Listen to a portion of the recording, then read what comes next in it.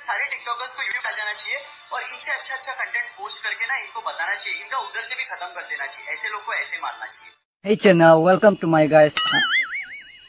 Hey, welcome channel to my guys. Hey guys, channel to my welcome.